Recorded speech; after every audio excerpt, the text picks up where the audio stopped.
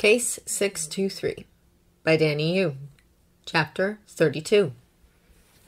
He is in a bar. No, a club. Loud pounding music that reverberates through his metal arm. It is dark with flashes of colored lights.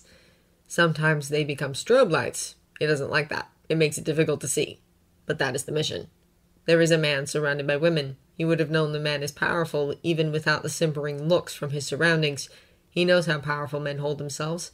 He's had more than one powerful target. He walks over. So, Tony said, glancing at Steve. You're not going to be an asshole about me sitting this one out. Of course not, Steve said. Tomorrow's Jamie's first day of school. You want to be there. He wants you to be there. Of course you should be there. He shrugged. Besides, according to Fury, it's a fairly minor base. Now that Thor's back, we can make do with Nat and Clint, and you and Banner stay here and look after the home base. Then he cocked an eyebrow. Still, Tony. Private school? Tony sighed. You know, he said, in a perfect world, I'd send him to public school in a heartbeat. I hate the fact that this means there's a big risk that all the kids he's ever going to know are other one percenters. But the world hasn't exactly proven safe for him so far, and until I actually wake up and find out we're all living in a utopia, I'm going to have to prioritize his safety above my principles. The school he's enrolled in has state of the art campus security, which you donated, Steve interjected. And don't make a big deal out of the fact that I insist on bodyguards. He won't even be the only kid with bodyguards, which you know, less alienation is always good.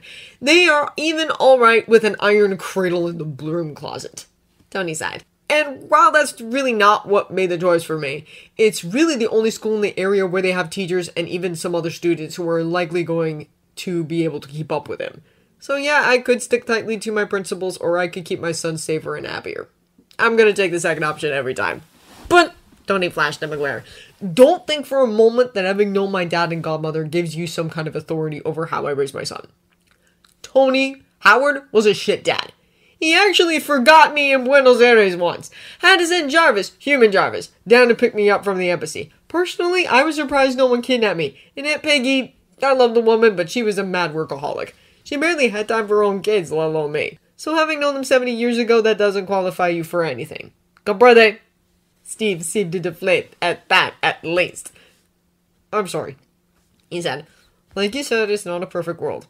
He still looked like he'd like to object or discuss, but over these past couple of months of working together, they have managed to establish some boundaries. Steve didn't try to lecture Tony about things he knew absolutely nothing about, like engineering, tower aesthetics, business, and child rearing.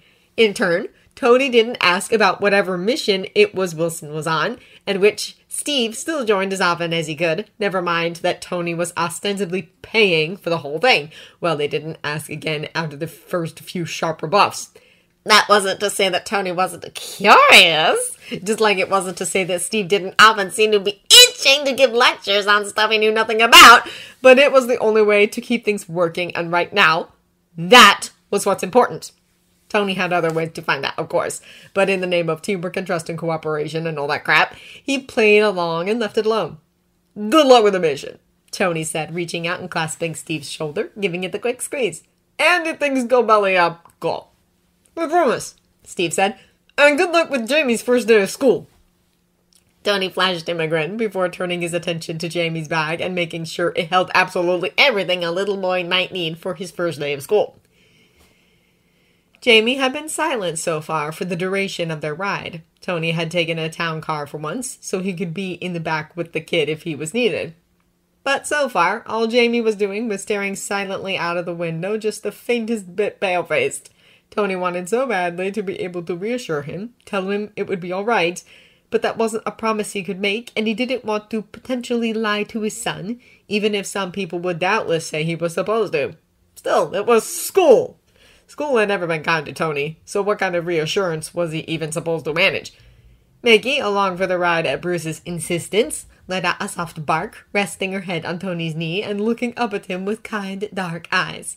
Tony let out a breath. The dog was right. Despite school having been utter hell, he was still here. He turned out mostly all right. Ish.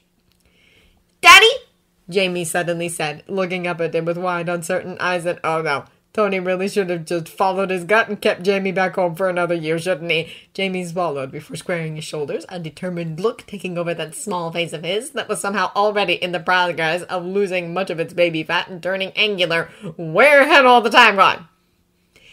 Daddy! Jamie said again, and then just about the last words Tony had ever expected out of him. Is it true that you've killed people? Tony couldn't help but flinch at that question.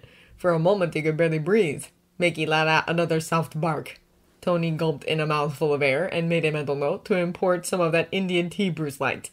Another slow breath, and he allowed himself to ponder the question. Why hadn't he prepared for this? He wasn't an idiot. He should have known that now with Jamie starting school, all that stuff in Tony's past was bound to come up sooner rather than later. He guessed he just hadn't expected it to be this soon. Jamie hadn't even been to school yet. Who was even telling him these things? It didn't matter, he realized. It didn't matter who told him.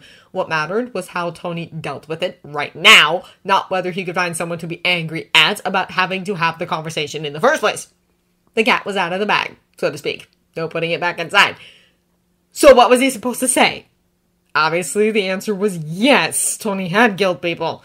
He had drowned Killian with his bare hands. He had burnt and shot and blown up and otherwise killed more members of the Ten Rings than he'd been able to send to jail. Those were the ones that were easy to explain. Then there were the others, the tens of thousands who had been killed by weapons that had come straight out of Tony's brain.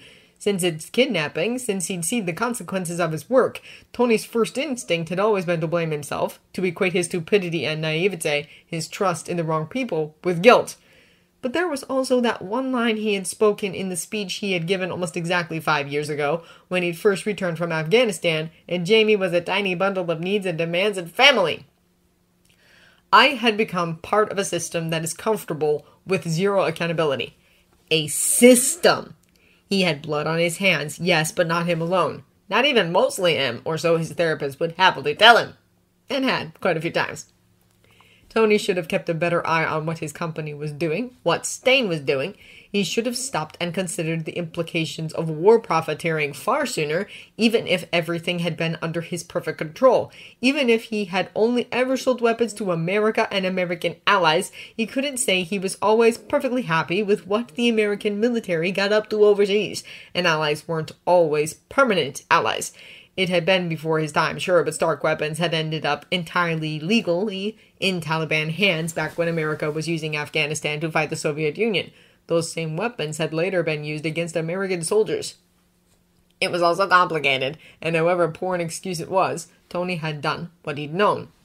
He'd done what he'd always seen everyone around him celebrate Howard for doing. He'd done what he could to keep the board of old men and Stane and the military bigwigs happy and silently worked on his own passion projects in the background. And no, it wasn't an excuse that he had been a naive idiot until well into his thirties. It especially wasn't an excuse for someone with his IQ. But the thing was, as bad a taste as it left in his mouth that he had ever made those weapons, that was all he had done. And when someone was murdered, you prosecuted the murderer, not the gun manufacturer. When someone crashed their car into you drunk, you prosecuted the drunk driver, not the guy who had designed the car or the people who distilled the booze, not even the middlemen. Because weapons didn't kill people, People killed people. Guns might make it easier, but people were still to blame. Tony still had to believe that, hadn't found a reason not to. I have killed bad guys, he told Jamie in the end. Plenty of them. People like Aldrich Killian, Hydra agents, people who hurt others. He paused, took a breath. There are going to be people out there who will tell you I've killed innocents. Thousands of them. But I haven't. Weapons I've made have killed people, but I didn't fire those weapons. I didn't even decide who they were going to be fired at. He paused for a moment, thinking. Last week, you told me one of the other kids threw a Lego at your head. Was that Lego's fault or the other kid's fault? Should we sue Lego for you? Amazingly, Jamie let out a giggle that sounded like pure and utter relief. Of course not, he said. That'd just be silly. And just like that, Tony felt the weight he hadn't even realized he was still lugging around just fall off his shoulders. It was true, wasn't it? He had never killed all those people. He had a measure of responsibility, yes, and there were certainly still shit to be guilty about.